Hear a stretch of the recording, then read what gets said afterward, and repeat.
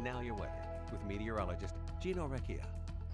Well, temperatures got up into the upper 60s and lower 70s today, but you see farther off towards the west, there's some warmer temperatures with highs in the mid 80s across the central and northern plains. That warm air will be transporting eastward and we'll be climbing up into the upper 70s to near 80 degrees over the coming days.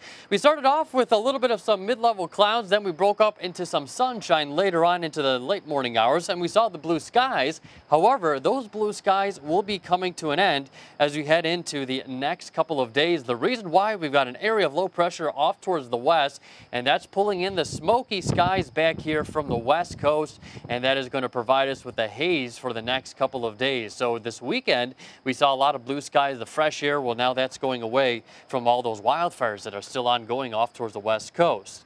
Ahead of a frontal boundary, we are seeing a little bit of some light cloud cover moving eastward, but you see more rain showers over parts of Minnesota. It does look like there is a chance of some rain showers as we get into the day for Tuesday. It looks like tomorrow should be pretty dry. A close look does show pretty quiet conditions, just a few fair weather clouds passing through. So overnight tonight, we have some of those light clouds that pass through, most of us seeing mostly clear skies. Then during the morning hours tomorrow, starting off pretty quiet as well.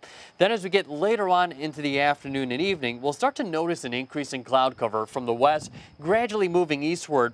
And then what happens late Monday night into Tuesday, we start to see a few light sprinkles that start to pop up in here, especially up into the northwoods. But then later on Tuesday, looks like a better chance of a few showers, maybe even some uh, brief moderate showers as we get into the morning hours tomorrow. But appears after the morning, then we start to dry things out once again into the afternoon.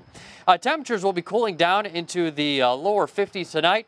And then tomorrow we'll start to warm up into the uh, lower 70s, but you still see that warm air off towards the west. That's still going to continue to slide eastward as we have that uh, warm front that moves in. Then tomorrow night we drop down into the upper 50s, so not as cool as what we'll see uh, for tonight. And then as we head into Tuesday, we're getting up into the upper 70s to near 80 degrees for so some folks this will be a little bit of an Indian summer because we did see our first frost and freezes of the season.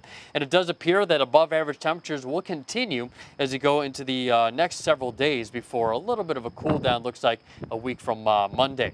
67 right now with a wind out of the south at 13 miles per hour. Perhaps you're hearing it on the microphone, a little bit of a breeze out there. Sunset at 6.53 tonight. We've got 65 in Pembine. Most of us are in the lower to upper 60s. Waupaca still holding on into 70 degrees.